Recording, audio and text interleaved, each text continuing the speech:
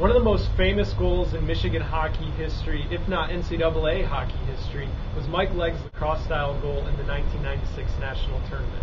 It's not often that you'll see the Michigan hockey team practicing these moves.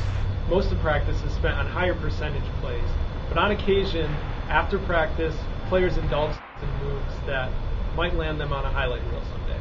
Through the legs, um, just like back through your legs. I used to do that in juniors, but uh, coach doesn't really let me do it here. So anytime I get at the end of practice, I'll do that. What would coach say if you were to try these sorts of moves that you're about Um, to show us in a game? Well, I, I have tried it, and uh, most of the time I fail, so he gets mad at me.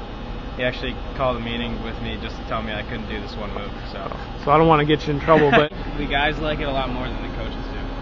Yeah, we preach uh, making high percentage plays um, to our game and our our players. So uh, that, in my book, probably would not be a high percentage play that we would encourage. Uh, you know. AJ said five percent conversion rate on his favorite move, so that wouldn't be high high percentage Yeah, enough He for can still work on it in practice, and we need we need more than that. We need high percentages, and five's not high for me. Who would you say has the best hands on the team?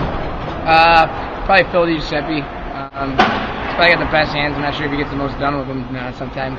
Uh, he's got a little overactive hands, but uh, yeah, you know, he likes to, uh, we call it brushing it off. He likes to stick handle a lot, but uh, yeah, there's definitely some times he should probably just shoot it. But uh, when you got hands like that, uh, he probably wants to use them. I like the backhand toe drag, which is just that's the only thing I basically do. These moves are not necessary in the game all the time, but I mean it's it's not bad to practice them, and sometimes they do come in handy.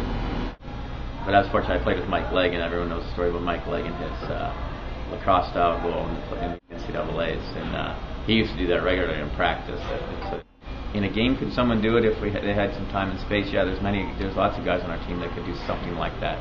Um, but then to have the courage to do something like that and hopes of pulling it off uh, is probably a whole nother ballgame.